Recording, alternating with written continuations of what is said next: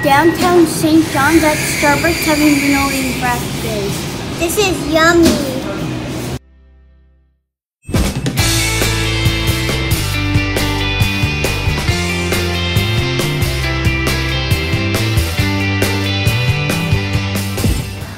We're in to get some.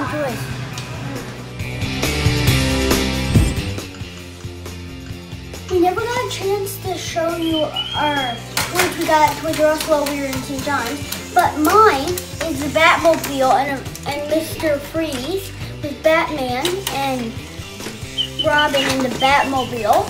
And this thing actually fires. And this one actually fires too. And it's also two motorcycles. I think it's pretty cool.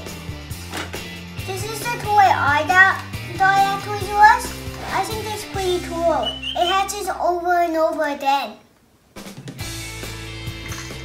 It's a year wide pet. Wait for it. Wait for it.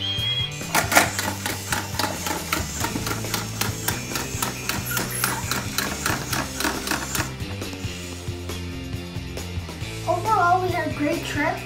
It was so fun. Can't wait to do it again.